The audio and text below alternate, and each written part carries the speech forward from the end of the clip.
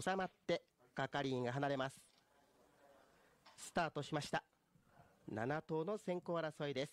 まずはスタートを決めて7番のしらせすっと前と上がっていきました。4番の俺らの夢。外からは5番の遠来が接近で内は1番コーディアルライムが続いていきました。あとは6番アブノダンティアと続いていって外から3番ナッシングマターズぐんぐんポジション上げていきました。2番のスマートアメトリンが最高峰で7頭1コーナーカーブに入ります。先手は7番しらせですが外から3番ナッシングマターズ並んでいきました。その後1馬身半から2馬身差4番俺らの夢が3番手2コーナーカーブ。後ろは3馬身差5番の遠来と続いて2コーナーから向こう上面です。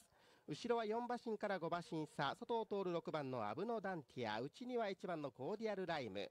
あとは2馬身半から3馬身差2番スマートアメトリンが最高峰です。7番のしらせが先頭リードは1馬身半ほどで3コーナーカーブに入っていきます。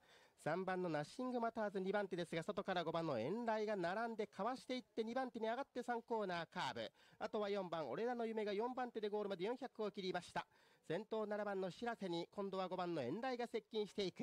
あとは2馬身半ほど間が空いて3番のナッシングマターズが3番手。その後は4番俺らの夢。後ろは6番アブノダンティアで4コーナーから直線コース。へここで5番の遠来がわずかに先頭に出る。7番の白瀬が2番手懸命に粘りを見せる。外からは3番ナッシングマターズが3番手。あとは追い込み勢6番アブノダンティアあたり先頭5番の遠来は抜ける。5番の遠来ゴリ。2着7番白瀬その後3番ナッシングマターズ3着でした。